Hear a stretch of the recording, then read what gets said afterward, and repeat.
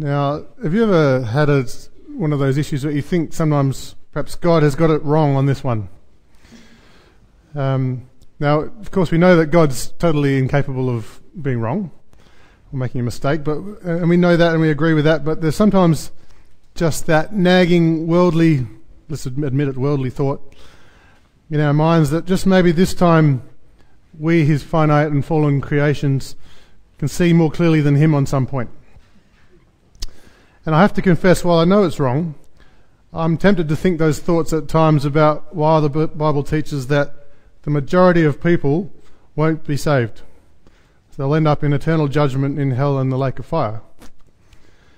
I've struggled, as I know some of you have, uh, with the idea that so few human beings in the end will be saved. Apparently, that's what we understand the Bible to say. It seems such a big price to pay for the eternal happiness of a few, and of course, God Himself. It's His, it's his pleasure. It just seems not very efficient. That's maybe that's my engineering mind thinking there. I don't know, but now in no way do I want this to sound like I doubt God's God's goodness or the wisdom of His plan. But it's just something that, for us, from our earthly perspective, we can't really have a good explanation for. I don't think. And I think some nodding heads good. But it does serve as a reminder that if, we could understand everything about everything, then who would need God? You know, we'd be God. We wouldn't need God. So we need to trust Him with that. And what we uh, can make sure, at least, that for our part, that we've personally responded in faith to His call, and that's kind of the, the large push of today's message, because that's what we do have responsibility for, is our response, whatever the situation is for everyone else. It's that personal responsibility, that gift of free will. That's the key element in this. Because that's what we see Jesus addressing here in that passage. You know, there's all these people around him, they've got, each has got their own free will. What are they going to say to his, to his challenge? Because he, he basically asks us all, so are you in? Are you coming with me? He's walking around, that's what he's pretty much saying to everyone. Who's coming with me? So if you answer that with a yes, which I hope each person here today has done or will uh, is doing. So if you do answer that with a yes, what does that mean for you? So what difference does it make in your everyday life and your priorities and therefore your decisions? Because everything you believe will sooner or later will it'll come out in your actions. So, what are we to believe? So that's the challenge we're going to encounter today as Jesus continues his journey toward Jerusalem. There's a map there, I'll talk about that in a second, but just uh, even in this passage, we see hints that this journey toward the cross is constantly on his mind. You know, it's getting closer now. But it's the linchpin of what Jesus came to do. But he's taking a slight diversion today, geographically speaking, anyway. So the best information I find says that Jesus has just gone across the Jordan River to a region called Perea, and I've just circled it there for you. And if I'll just point out a couple of things, so so Galilee up there is where Jesus did most of his ministry in the early parts, and he was Capernaum's just here on the shore there of Galilee. And the furthest in the journeys of things that we've seen in Luke so far has been up as far as Mount Hermon, which is up right at the top here. And then he made his way back, and now he's sort of working his way down towards Jerusalem, which will put a target there, so that makes that's his target. A bit small. I didn't want to make it too big; it'd look funny. But yeah, so he's working his way down. He's now just crossed over into Perea here. So that's the general understanding of where he is at this point. So, and that's where he's going to be for all this whole section from now on through to 17 verse 10. Um, that's a fair chunk of the of the next part of Luke there. And time wise, it's only a matter of months or weeks perhaps until the crucifixion, so you see things are becoming more focused. So we're really, we can feel that as we're going through this in Luke, he's really hitting people harder and harder. So that's that question. Are you in? It's more urgent than ever before. So that's where we pick it up, Luke 13, 22. So if you have your Bibles, please be there. Otherwise, follow on the screen. He went on his way through towns and villages, teaching and journeying toward Jerusalem. And someone said to him, Lord, will those who are saved be few? Now, this would have been a common question floating around in the day. because the Jews mistakenly believed they were the only ones who would get to be saved. And even then, not all of them, you know, guys like tax collectors and prostitutes and all those, they wouldn't be allowed, certainly they wouldn't make it. And uh, so their mentality was that even within Judaism, not all the Jews would make it to heaven, as well as, of course, the Gentiles, they just had no hope at all. Um, they might accept those who you know, proselytise, but we'll see. Um, we'll see. Uh, we won't see. I'm not sure exactly what they thought about that, but um, but basically, there's a whole bunch of people who wouldn't be there in glory. So that question was now raised with Jesus by someone. There's someone there. So we're not told who asked it. It is always important to see who asked the question, but we're told it's just a general anyone. But it's a universal question, so it's just someone. So that's how does Jesus answer? So the second part of verse 23. And he said to them, Strive to enter through the narrow door, for many, I tell you, will seek to enter and will not be able. Now, this is interesting that he answers like this. Firstly, he doesn't correct the idea that only a few will be saved. In fact, as he often does, he takes this sort of theological point, which is really behind it, and he makes it about us personally. He did that early in the chapter, right? If you think back, he, when the Galileans, sorry, when the people asked him about the Galileans that Pilate had killed, or and the people who had the Tower of Siloam fall on them, um, they asked were they worse sinners. So that was kind of a theological question. But Jesus didn't get caught up with trying to theologize with them. He, what did he say? Do you remember his response when they asked those two questions? He had the same answer twice. He said, Unless you repent, you will all likewise perish. So he made it personal and a challenge for his people to ask the question. So that's why probably less and less people asked him questions after a while. It made him feel uncomfortable. But this is what he does again. He makes a challenge to for them to strive to enter through the narrow door. So, yes, he affirms the presupposition behind their question, which is the idea that only a few will be saved. But mostly this, that this means something in your life. If you ask that question, it means something. And that's the main point. So, you know, we can theologize back and forwards all day, and, and there's a place for doing that. But what really matters in the end is yours and my response to the challenge and call of Jesus. Right? Yeah, that's what matters. How do, how do you respond to it? You can theologize all you like. And he says we need to strive. Does that sound right? do we don't we just sort of rest in the work of Christ? It's kind of what we just celebrated at communion. Yes, of course, we do rest in his work. His work is sufficient. But we must also not be lazy with the completed work he's given uh, sorry, the with what that completed work has given to us. So what he's basically saying is we need to get serious about following him.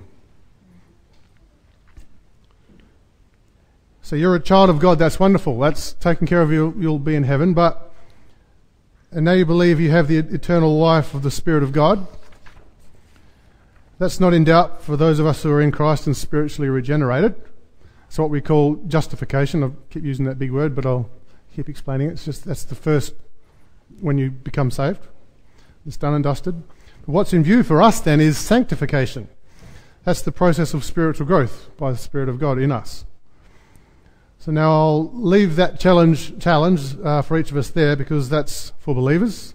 Okay, and I don't want to get off track because I'll soon show you how Jesus here is talking to unbelievers. So we want to keep it on topic, but we do need to always have a challenge for ourselves as well. I think.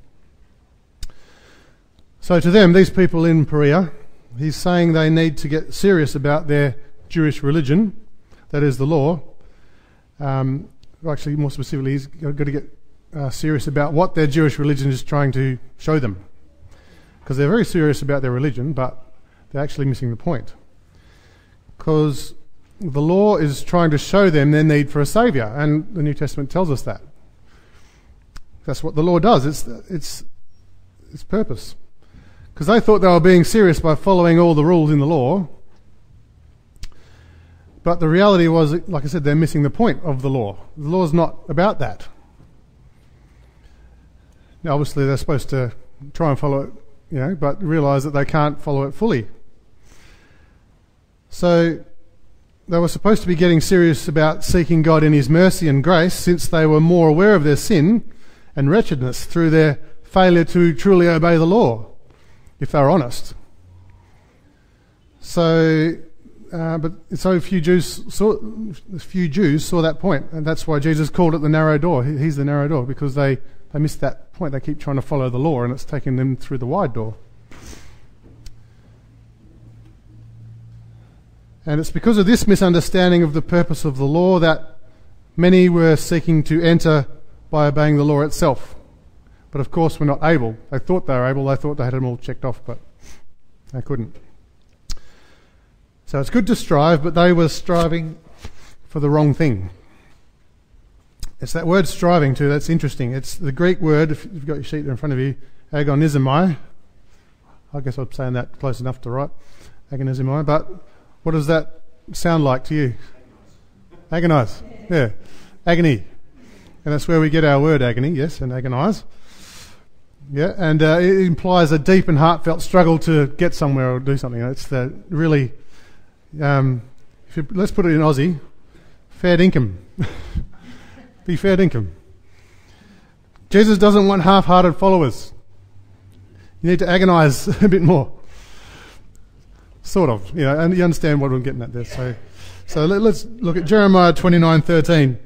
God says this. You don't need to go there. I'll just bring it up. You will seek me and find me when you seek me with all your heart. So who's the, the subject of that sentence? There's three me's there. They're all God, right? So yes, it's all about God. You will seek me and find me when you seek me with all your heart. So seeking with all your heart is that striving that Jesus is talking about. Now, I'd better clarify here. Do be careful that this doesn't become a works thing, which is where the Jews were getting off track. Trying to earn your salvation. Because it's not the intensity of your striving that will move God to save you, or me, or anything. It's not the ones that try harder get better in heaven. It's not how it works. Not the ones that try harder who get to heaven. Nothing we do can bridge the gap. Only Jesus' blood can do that and has done that. But by the same token, the kind of attitude that many have, like, you know, hey, God's forgiving, I'll be fine. I think that's kind of what he's talking about against here. The, the careless attitude that leaves you lost in the end.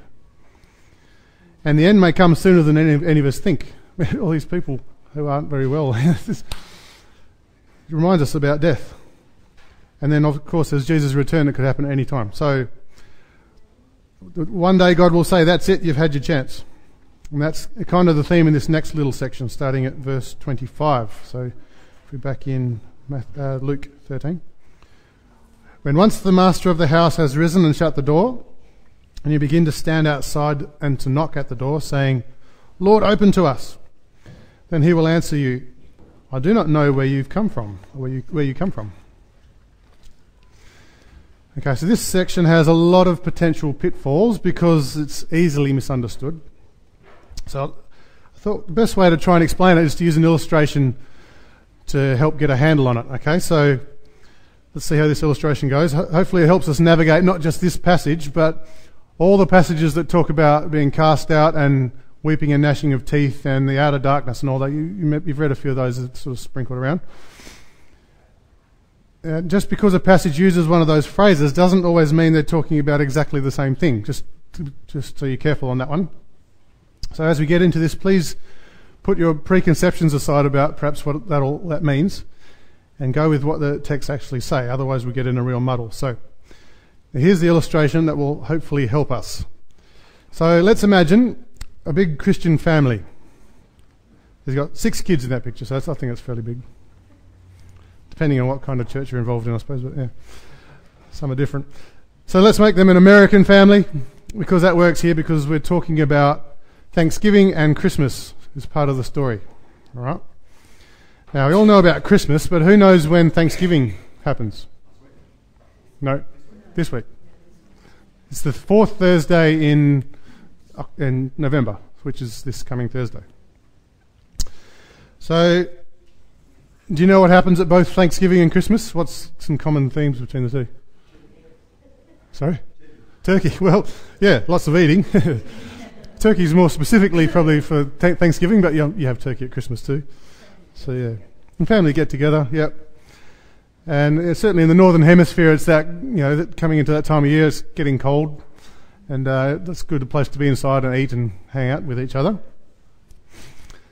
So yeah, so there's turkey and pumpkin pie as well. Don't forget pumpkin pie for Thanksgiving. Now, for this American family, there's there's actually a Thanksgiving fete in in town on the, the day of Thanksgiving on the Thursday, and so they're all down there, and the townsfolk are all there hanging out, enjoying time together. But during the fete, one of the children, and let's point out who it is, is this little guy here. He gets up to no good. So Dad catches him hanging out with some known dodgy characters, and they perhaps they look a bit like that. Need to make it memorable. So there's some dodgy crew he's hanging out with. And it turns out he's been stealing money from people to go and buy donuts and stuff like that and uh, being a general troublemaker down at the fete. Now, because of the son's foolish behaviour, it gives the, it's giving the family a bit of a bad name because you know he's a upstanding church, church family here, and and Dad's not happy about it. So when they get home, Dad says he disowns him as a son and kicks him out of the family forever. Is that how it goes? No.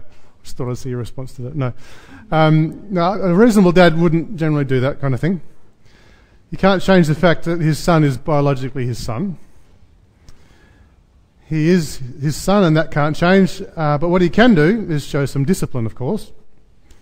So when they all get home, dad calls his son aside and he says, Now, listen, son, uh, what you did was very wrong.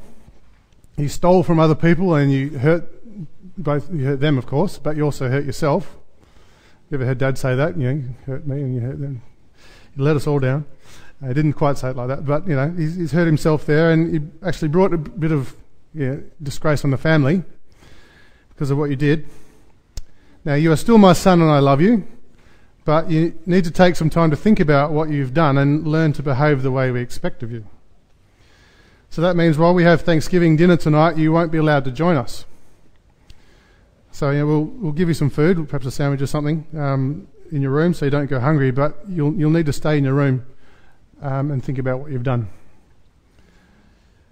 Uh, so yes, I'm afraid you'll be missing out on the family celebrations of Thanksgiving this year. Now, how does the boy react to that? Do you think? He's uh, he's pretty devastated. He's really upset, and because he's been looking forward to this for ages. He even helped Mum prepare the turkey earlier in the day, and he was imagining how good it would taste and all that. But now he's just going to ham and cheese or something. Um, now that the reality is set in, he has lots of tears and remorse for his selfishness and stupid behaviour. But he understands that this is the consequence for his silly decisions and, and his bad witness before the town as well. And as he sadly turns to go, he, he thinks for a second, he turns to his dad and he says, What about Christmas? Because you know, Thanksgiving's big, but Christmas is bigger. It's the biggest one. So Dad replies, I'll make sure you learn your lesson from this, son, and everyone, even the extended family, will be there at Christmas. So you'll be there. In other words, you know, if, if something else happens, you'll work out another way to, to work through it. So the, yeah, the son goes off to his room and shuts the door, and that's where he is for Thanksgiving. But at the end of that conversation, there's a knock on the door, on uh, the front door of the house. And Dad goes to answer and he sees uh, that bunch of no goods that his son was hanging out with earlier in that day. And they come and they, and they say, Hey, can we have Thanksgiving with you guys? We hear you've got a really good spread. You know, we've been told all about it. Can we hang out? And Dad says, Sorry, this is for our family only. Uh, you go to your own family and have your own Thanksgiving. Sorry. And they say, But, you know, we've been hanging out with your son all day. You know, we're part of the family, aren't we? He replies, No, you, guys are a bad influence on my son. I don't want you around here. You'll have to leave. So he shuts them out, closes the door. And, you know, they, they go off and they swear and throw eggs at the house and stuff like that. But that's all they can do because they're locked out. Okay, so there's our illustration. In fact, we can call it a parable almost, if you like, because uh, as you may have guessed, the characters represent real people. And so, as we go through the rest of the passage, we'll use that to hopefully explain what I think Jesus is getting at here. Uh, not just here, but all those you know, weeping and gnashing of teeth places. So, hopefully, you can use that in a variety of places. Okay, so let's look at where we are. Uh, verse 25 in Luke 13. So, this is where we were. So, so we have some people being locked out of the gathering in the kingdom of God. That's, that's the context of what Jesus is talking about. And the kind of gathering is a feast, which we can see from verse 28 when we get there. So these people are being excluded from the feast for some reason. So, what reason does Jesus give there? Why are they? Doesn't, yes. I do not know where you come from. Or in a similar passage, Matthew 7:23, which is not the same situation but has many of the same elements, Jesus says, "Depart from me, I never knew you." Okay, so uh, that's probably the King James version, but yeah. Um, similar kind of idea. So it's this idea of not knowing who they are or where they come from, kind of not knowing them. That's the basis for the exclusion. Can you see that? That cool? Here at least, anyway, this for this particular episode. So in our parable, there were two separate exclusions from the feast. Right? There was the son, and there was the bunch of rascals who turned up and wanted to come in. Right? There's two exclusions. So which one is closest to the one Jesus describes there? Yeah, the one's at the door. So, you know, they both had a, quite a strong emotional reaction to the exclusion. There's regret or anger, but they weren't for the same reason. So it was, it was the, the, the rascal gang, if you like, who are most like the ones Jesus said here. Because Dad said he didn't know where they're from, and, and that didn't really matter. The point was they're unknown to the family. They're not part of the family, right? So they weren't welcome at that particular moment. It's not saying they never, you know, let uh, visitors in the house. It's just this is a particularly family time. So, in the same way, Jesus is saying that these people in his illustration are being shut out of the feast because of the lack of relationship and belonging to the family. But they have something to say about that. don't get down without a fight. Verse 26.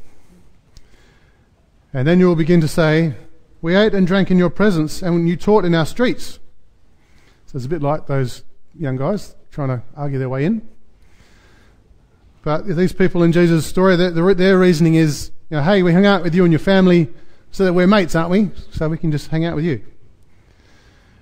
But he will say, verse 27, I tell you, I do not know where you come from. Says it again. Depart from me, all you workers of evil. So I hope you see the parallels there with uh, what the story I was telling you before. Know, that despite their protests and their just their fundamentally unregenerate nature means they simply don't belong with the saved people. Now, we next thing we do is get to that interesting and sometimes misleading phrase, verse 28. In that place there will be weeping and gnashing of teeth. This is where these people get thrown out to where you, when you see Abraham and Isaac and Jacob and all the prophets in the kingdom of God, but you yourselves cast out. So, yes, that tricky phrase is weeping and gnashing of teeth. So, straight away we all think of hell, right? Okay, that's what it's going to be like in hell. And on this occasion, I would agree that yes, this is talking about the reaction to hell, to being permanently denied entry into the kingdom of God. And remember, this is largely Jewish audience even though he's across the Jordan in Perea, there's still, um, outside of Judah proper, there's still a lot of Jews there, a high proportion at least. So they just assumed they were in, you know, because they were born Jewish. So I must be in because I'm a Jew and I haven't done anything really bad, so I'll be in. But what's the sole basis for being admitted into the kingdom of God? Any time, right through history. Sorry? Yeah, faith. Yeah, faith and repentance is part of that faith. It's that turning from lack of faith to faith. Yep. So it's not bloodline and it's not good works or anything else that these people thought it was. It was and always is by faith in God's promises. Now, Abraham was saved by faith, wasn't he? Okay? He believed God and it was credited to him as righteousness. And most specifically, certainly for us, now we know Jesus has come. It's in him, specifically his son. So here we have Jesus shocking his hearers by describing a situation where the patriarchs of Israel, so you know, Abraham, Isaac, Jacob, and the prophets, um, they're all dining together, but these Jews who thought they were good, obedient followers of the law are shut out. And that's not the worst of it, but we'll get to that in a minute. So, yes, due to their lack of faith, they're in hell, ultimately, the lake of fire. So, they're like the bunch of miscreants we saw who tried to get into the family's Thanksgiving dinner. They weren't part of the family. But back to the weeping and gnashing of teeth. Um, now, I don't have time to look at all the other occurrences of the phrase and to back up all this fully, but uh, I want you to be aware that not every time it occurs does it mean the torment of hell or lake of fire. Okay, not every time. Sometimes it refers to being in the kingdom but being shut out of the banquet. Like how our son in our illustration was in the family and still in the house, but he was barred from the celebration due to his bad behaviour. Now, I know that might jam some gears from some people, but uh, they might say, Do you believe in Christian purgatory? So we're not all accepted. So, no, I don't believe in purgatory. That's not defensible from Scripture. So, neither you nor someone on your behalf can earn your way into the kingdom after your death. That's, that's not right. You can't do that. that. That's what purgatory is. So, we are all, as Hebrews 9:27 says, destined to die once, and after that, face judgment. Okay, so that's, that's it. You've got one chance. It's also against reincarnation, too. There's no reincarnation. It's just you die and that's it. There's no more chances to be with Jesus. But we do need to realize that this idea that when we die, we just go to heaven uh, for eternity and everyone's just the same floating around in clouds of bliss, that's also not biblical ever, either. Now, we do go to heaven forever, yes. Well, yes. it, it is eternally be with the Lord. That's what it's about. But it's not this playing harps and floating on clouds. It's nothing like that. In fact, there's lots of stuff that needs to happen before the eternal state is set up. So, and that's such as what Kevin talked about last week, when you know Jesus rules the earth during the millennium, the thousand years, in fulfillment of God's promise to David. And I regret I don't have time to talk about all that and show you why I believe that, but that's uh, we'll deal with those things over time. But the point is, weeping and gnashing of teeth is simply a well-known idiom in that day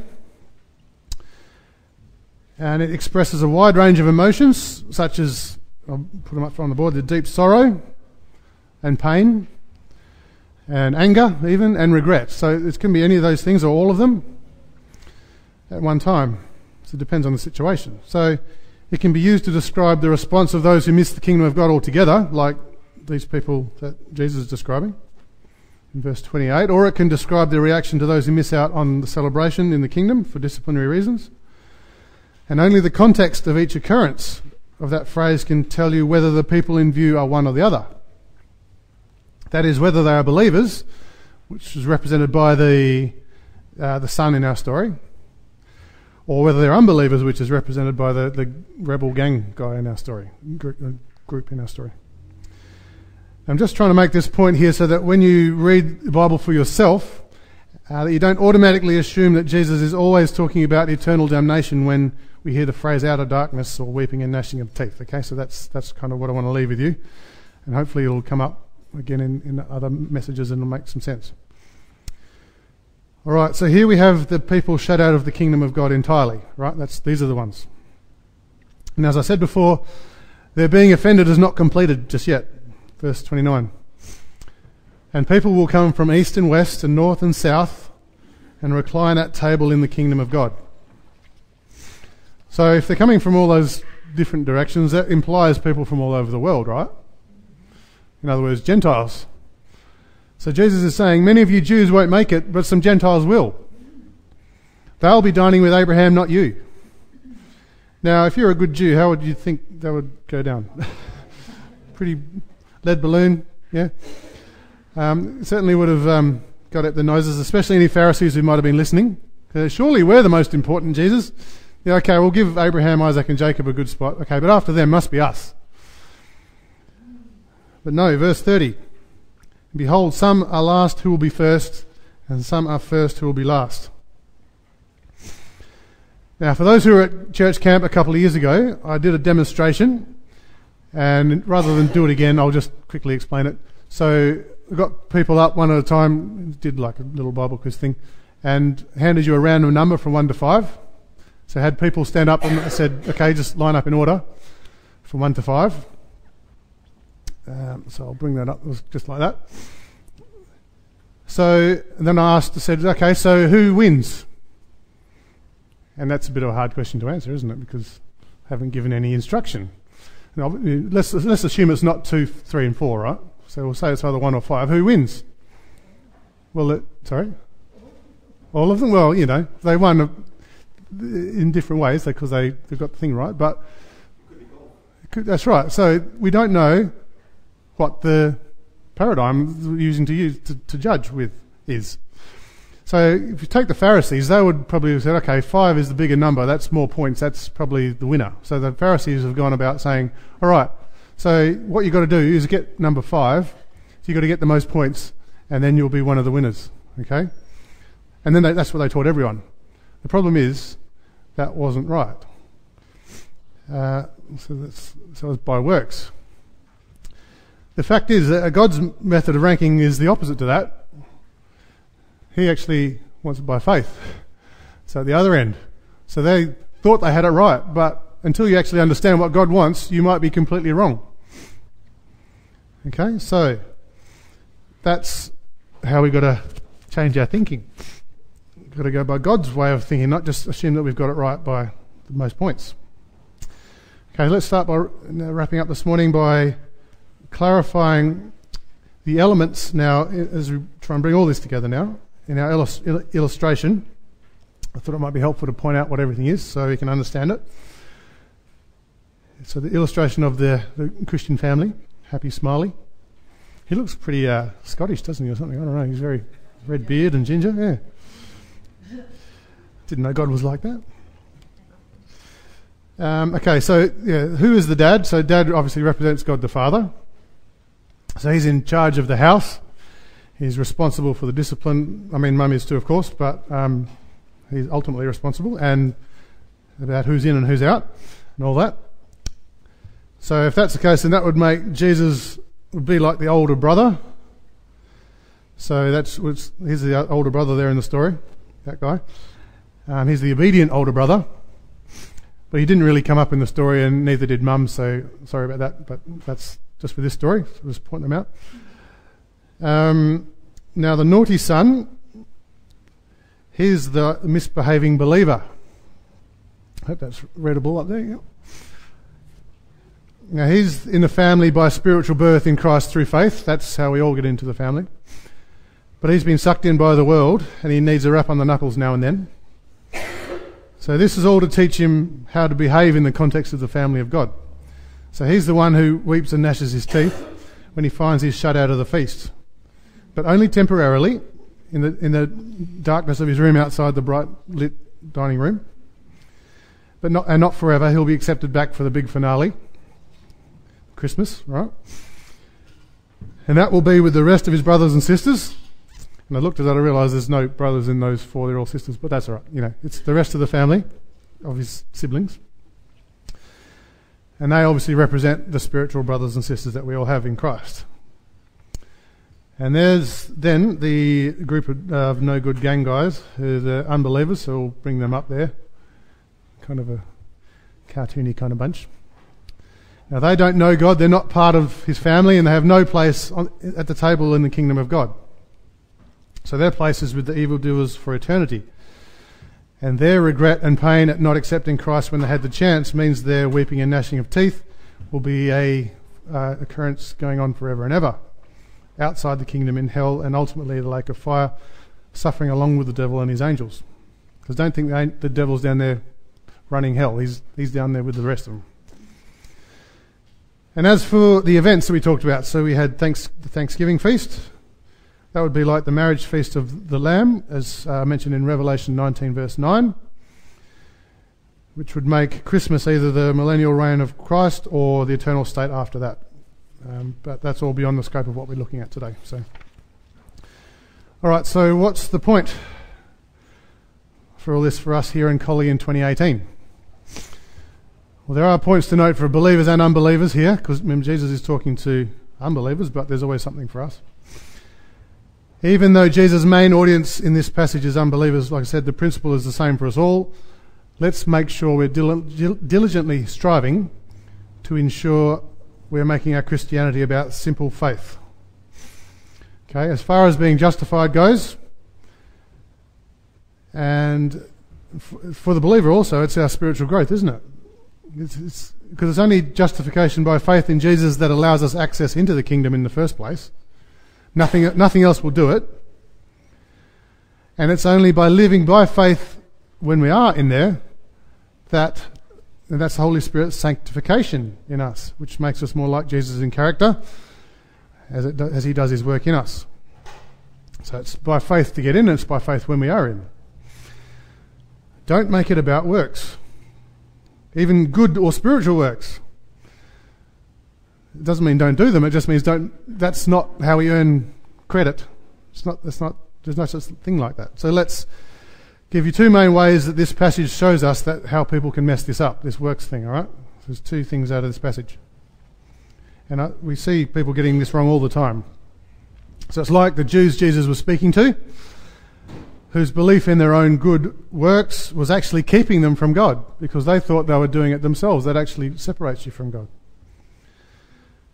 And so for us today, we can see that that attitude in the thinking that we can impress God by our works enough to have him accept us. So that's, that's not the right thing. So why is that wrong? Because the basis of our acceptance is Jesus and his blood given for us as an unblemished sacrifice. He's the one who lived that perfect life that we can't do. So that's taken away the sin barrier for us all, meaning it's all about faith in that already completed work. The work of Jesus, not us.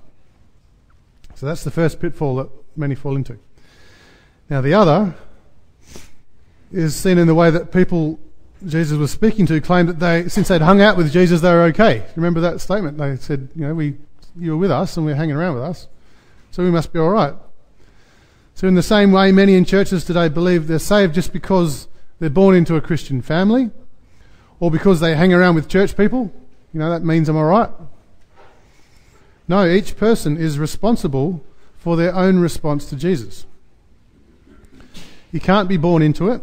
You can't get it by osmosis just by being involved, even heavily involved in church. There's some who, who um, can just seem like Christians, but they're actually not. It's, it's like you can't, standing in a garden bed doesn't make you a flower. Okay? You just. You need to personally accept Christ and be justified before God. Remember what Jesus said no man, singular, comes to the Father except through me. You don't get a group deal package thing, it's your own choice. He's the one gate. You can only fit one person at a time. If you want to yeah, take it figuratively like that. He's the one gate, he's the one door, and it's a narrow door. Only a few find it. So I guess the question again is are you in or are you out? So, in conclusion, unbelievers, are you trying to get in by doing good, good works, good things, or just by hanging out with God's people? That gets you shut out of the kingdom. Believers, do you think you can live a life like the world and not have some consequences? We're thinking of being at, the, at the, the dinner there. God will not be mocked. If you are truly His child, you can expect to be disciplined and perhaps forfeit some of your inheritance and miss out on the coming feast if you are being uh, naughty, I suppose you can say. So, no matter where you are spiritually today, those are some things to consider. So, we all need to get fed income, turn our faces toward Jesus, and come in through the narrow door because He's our only hope. So, let's pray. Lord, before as Paul writes, We had no hope, but because of you, we do now have hope. And we thank you for being that one door for us. Help us all to come through you, Lord, because there is no other way. And, and our lives as Christians, Lord, we know we do fail. And it's not about doing all the right things, it's just it's about entrusting ourselves more and more deeply to you, Lord, in in full heart and in uh, complete abandonment to you. In, in, uh, and Lord, we pray for the strength to do that. We cannot do it ourselves, Lord. Please take us and mold us into your image. and uh, we look forward to the day when we will be with you in person. So we thank you for that message to us in Jesus' name. Amen.